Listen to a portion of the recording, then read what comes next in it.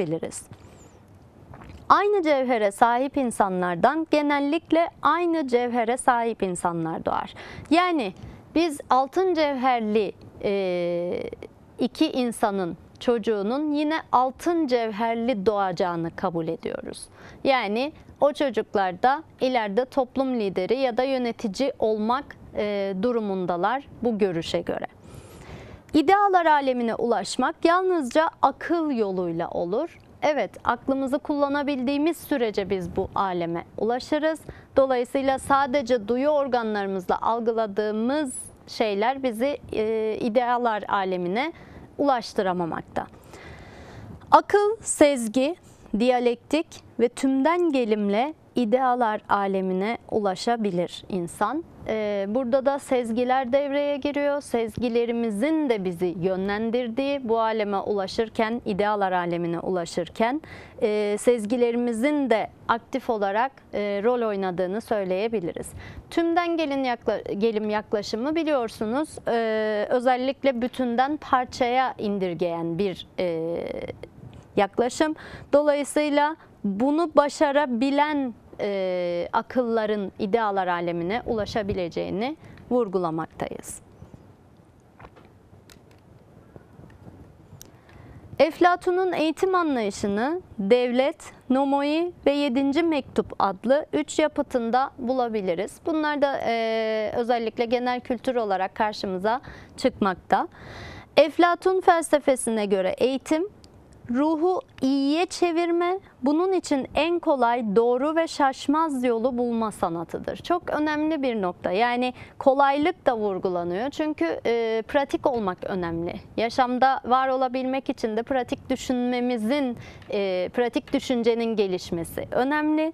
Ruhu iyiye çevirme, bu da önemli bir vurgu. E, dolayısıyla yanlış davranışlardan arındırma olarak düşünüyor. Eflatun'da. Mevcut olan eğer e, bize göre, eğitime göre yanlış olan bir davranış varsa bireyi bunlardan da arındırarak e, iyiyi düşünme, iyi davranma gibi özelliklere de kavuşturmuş oluyoruz. Hatta eğitimi bir sanat olarak ele almakta. Çünkü e, buradaki vurguda da aslında herkesin e, eğitim verebilecek kapasitede olmadığını vurguluyoruz. Yani nasıl ki e, bir sanatçı, ressam tablosunu büyük bir kolaylıkla e, oluştururken dışarıdan resimle hiç alakası olmayan insanlar bunun çok zor bir davranış olduğunu e, düşünebilirler. Aynı şekilde eğitim için de biz eğitime sanat olarak bakarsak herkesin eğitim sürecinde e, aynı düzeyde beceriye sahip e, olamayacağını da söyleyebiliriz. Ona göre hiç kimse isteyerek kötü değildir. Yani biz doğuştan hiçbir şekilde kötü davranışları beraberimizde getirmiyoruz. Ancak çevresel faktörler bizim bu kötü davranışları kazanmamızda etkilidir diyor Eflatun. Kötü insan yanlış bedensel alışkanlık ve yanlış bir yetiştirme tarzıyla kötü olur. Az önce de söylediğimiz gibi e, bireyin kendi davranışlarının bir şekilde dış faktörlerle bütünleşerek dış faktörlerin de etkisiyle kötüleşebileceğini vurgulamakta. Yani doğduğumuz anda herkes aynı iyi ruha sahip ancak yaşantılarımız yoluyla bazı kötü davranışlar elde edebileceğimiz söylenmekte.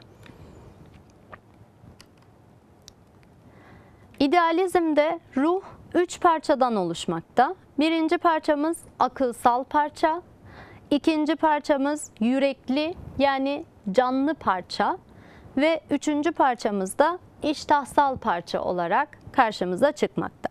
Her insanda bu üç parça vardır. Yani e, az önceki cevherlerden farklı olarak bu üç parçanın mutlaka her insanda var olduğunu söylüyoruz.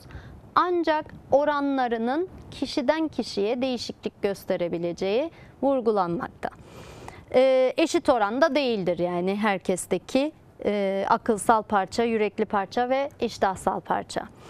Eflatun'a göre her insan değil, Yalnızca akılsal ve yürekli parça oranı yüksek insanlar eğitilmelidir. Yani iştahsal parçayı burada Eflatun eğitim için dışarıda tutmakta.